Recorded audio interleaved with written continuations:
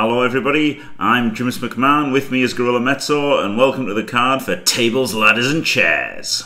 Oh my, that's right. We are kicking off a championship filled uh, pay per view tonight, and we are going to do it with the co founder of shit himself, Scarametzo. He negotiated his a way in to this pay per view for him and all his guys with Mr. Jim McMahon, an uneasy alliance, if you will. Scuro really wants to start the show off hot with a big win to prove that the members of shit the Scarametzo High Intensity Tournament uh, have a place in professional wrestling and can really make a card sing. But to do so, he's going to have to beat a mystery opponent of Mr. Jim McMahon's personal pick. Uh, gotta believe he's got something nefarious up his sleeve. Can't wait to see what it is. Will Scarametzo start shit off right? We'll find out later tonight. Yeah, it's not a backstage brawl, so not in his favourite mm. environment, Scuro, and uh, uh, it's been confirmed to not be Tony Plays Poorly, but other than that, we just don't know.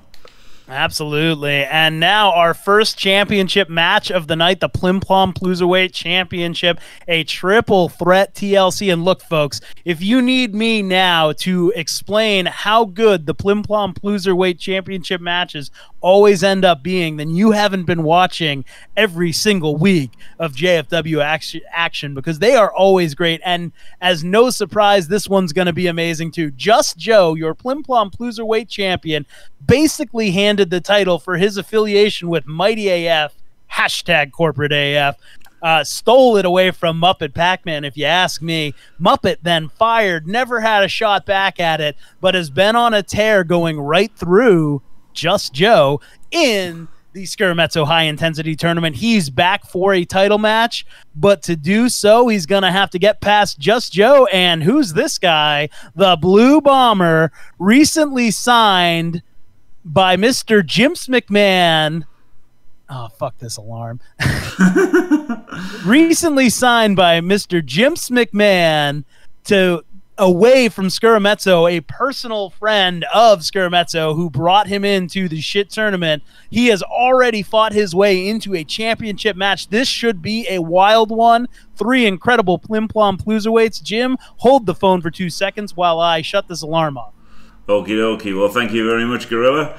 And uh, after that, we've got the culmination of the rivalry between Flicky Flack and Dave. Dave. Here we go. A grudge match for the ages. Flicky Flack overheard slandering Dave when his job was on the line. Talk about kicking a guy while he's down. Flicky Flack saying Dave deserved to be fired out of nowhere, had no reason to say it. But you know what? He was caught on tape, and that made its way back to Dave. And Dave was not fired. He won that Royal Rumble in- inexplicably at the last pay per view. Incredible stuff. And now he's calling Flicky out for his for his uh, words. And what we're getting here is a one on one grudge match. Oh, Gonna yeah. be a wild one. Jim, what is the stipulation? It is a table match, just a normal table match. Normal table match. Why does it say one on one match? Don't don't say that now. it's a table match. I don't know why it says that. It's stupid. It's a shit game. Uh, okay. fair, fair enough. Uh, all right. And next up, here's a wild one: Fatal Four Way Extreme Elimination Match. We all we all love these Fatal Four Way Extreme Elimination matches. And this one was a previously unannounced match. We are seeing four guys from four weight classes all who have made their fa- made their presence known in the Scarametzo's high intensity tournament. None of which are actual shit signings, though. Purple Chest, the he- uh, the super heavyweight, Volcayo, the light heavyweight, Unseen Walker, the heavyweight, and Labred Mask, the Plim Plom Ploozerweight. I did that completely backwards. Doesn't even matter because this one is going to be absolutely insane. Yeah, can't wait to see. Can't wait to see the new signings and the old hands go at it. It should be very good and very, very SHT related. All right, and now a huge match: the Chaos chosen Rick Reckless, Bezel, and Flapfart against Shawnee, Calcium, and Squirrel Dude, three light heavyweights. This one takes a little explanation. You may remember the Chaos Chosen Championship. Uh, the the Chaos Chosen Championship being around Rick's waist for months now. That used to be a light heavyweight. used to be a light heavyweight uh, uh, division no longer the case. Rick Reckless clearly weight classed out of it, and no one seems to want to go for that belt and the corruptive powers around it. So Shawnee, Calcium, and Squirrel Dude banded together to put together the WEM Dope Championship, a new light heavyweight division, and they have negotiated a clause to this match. If they can win this six man TLC tag match, that belt will be the official light heavyweight championship belt. And if they cannot, that belt will cease to exist. So we're going to have to wait and see if Shawnee, Calcium, and Squirrel Dude can come away with a huge win and rebrand the light heavyweight division for the future of the JFW. That sounds that sounds very exciting, and they could do it in a TLC match, can't they? I mean, you would think in a normal match they would get battered by Flat and Rick, but anything can happen in TLC.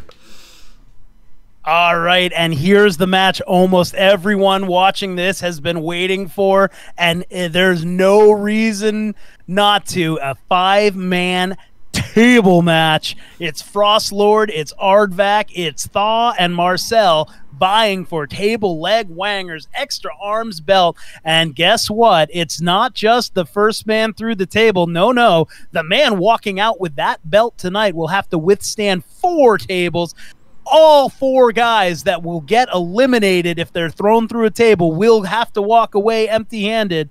And this one proves to be just completely off the wall. Aardvac, of course, uh, no one really needs to recount his story with the money in the ass contract and his history with Table Leg Wanger.